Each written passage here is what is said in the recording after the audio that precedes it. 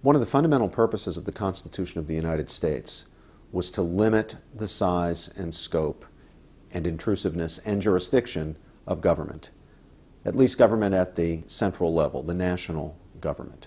Now, why were our founding fathers so concerned with limited government? Well, part of the story is surely that they wanted to protect the individual.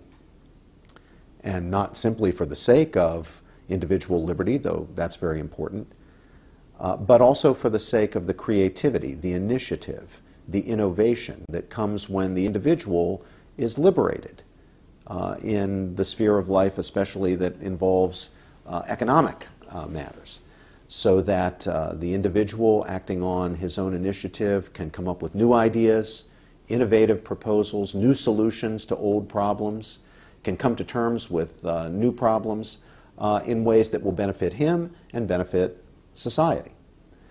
But our founding fathers were interested in limited government for other reasons too.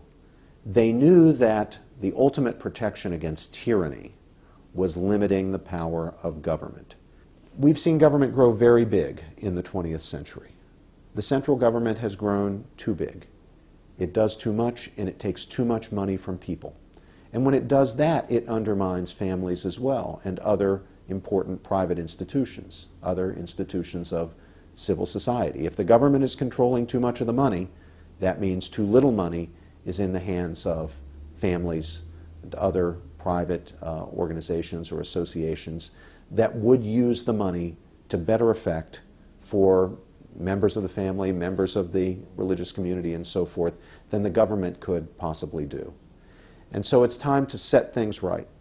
It's time to reduce the so size and scope and intrusiveness of government and get ourselves closer to the situation that our founding fathers envisaged when they planted in the very core of our Constitution this Central American principle of limited government.